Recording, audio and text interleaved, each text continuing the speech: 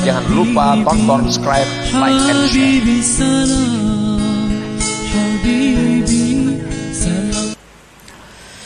Artinya, dan kadang-kadang menetapkan Allah Subhanahu wa Ta'ala atas engkau suatu dosa,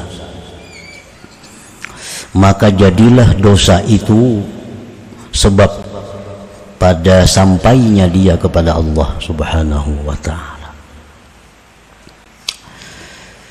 Jadi tidak hanya taat yang bisa menyampaikan seseorang kepada kecintaan Allah.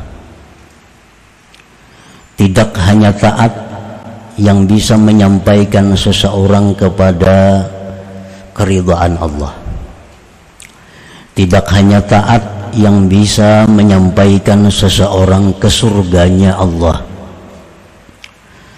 Tetapi ada pula dosa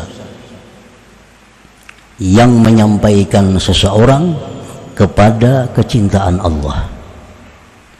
Ada satu dosa yang bisa menyampaikan seseorang kepada ma'rifatullah. Ada dosa yang bisa menyampaikan seseorang kepada surganya Allah Subhanahu wa taala. Nah, para muhibbin rahimakumullah. Jadi sebagaimana taat itu bisa menyampaikan seseorang ke surganya Allah, maka dosa pun bisa mengantarkan seseorang ke surganya Allah Subhanahu wa taala. Nah, bagaimana dosa yang bisa membawa kita kepada ma'rifatullah? Bagaimana dosa yang bisa membuat seseorang itu dicintai oleh Allah? Bagaimana dosa yang bisa menyampaikan ke surganya Allah? Idza aznabal 'abdu dzamban fakhafa rabbah wa taba fasara sababan fil wusul ila mahabbatihi wa safwatihi wa jannatihi apabila berbuat dosa seseorang hamba akan suatu dosa. Apa pun dosanya. Maka dengan sebab dia berbuat dosa itu dia menjadi takut kepada Tuhan lalu dia tobat membaguskan tobatnya nah maka jadilah dosa tadi sebab yang mengantarkan dia kepada kecintaan Allah pilihan Allah dan surganya Allah subhanahu wa ta'ala. Orang tuh dulunya kada pernah takut kepada Allah. Begitu dia memperbuat satu dosa yang besar timbul di hatinya ketakutan kepada Allah. Timbul satu kesedihan dalam hatinya. Timbul suatu kehinaan yang besar dalam dirinya.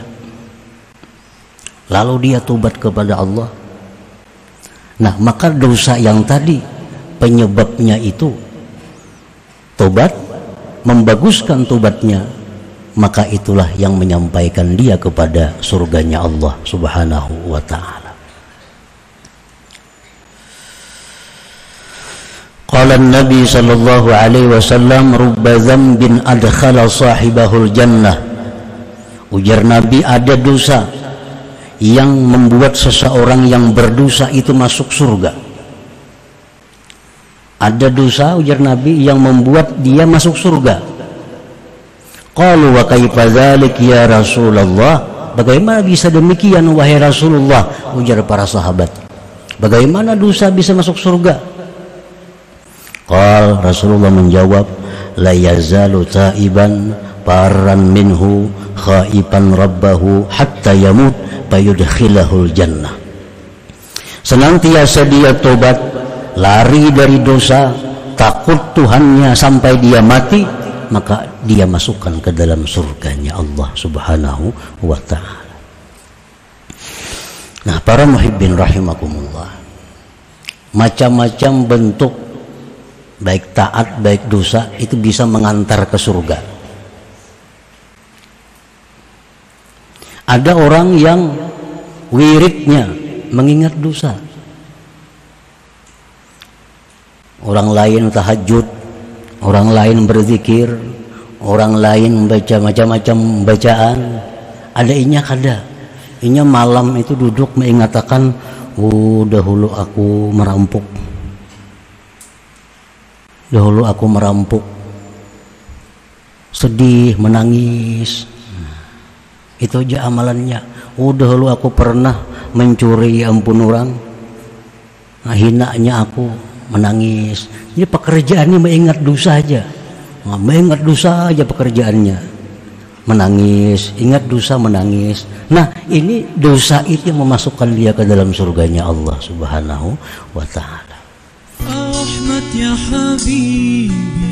Jangan lupa tonton, subscribe, like, and share.